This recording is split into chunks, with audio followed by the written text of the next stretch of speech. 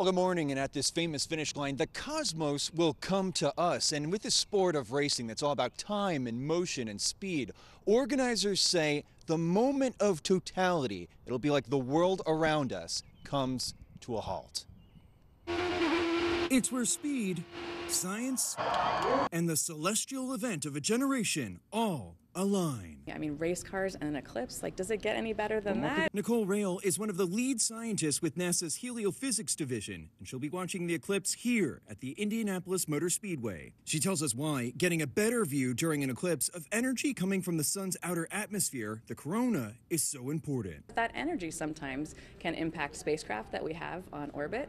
Things like GPS and navigation, which I don't know if you're like me, I rely on my GPS like to get around my neighborhood, otherwise I get lost. And if those systems go down because of activity going on in space, that's a big impact for us here on Earth. At the Speedway Monday, we'll see scientists, spectators, and even Indy 500 winners like Alexander Rossi. You have 50,000 people who are here for the same thing and are, are excited and interested in the same thing.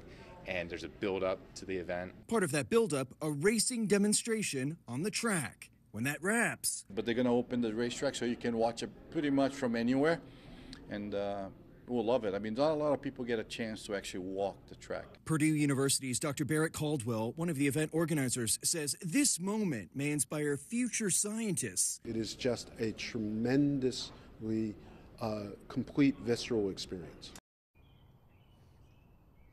So we're going to be waiting for 1:50 in the afternoon. That's when the eclipse begins here in Indianapolis. The cosmic crescendo, though, that comes at 3:06 p.m. That is the height of totality, lasting for three minutes and 49 seconds.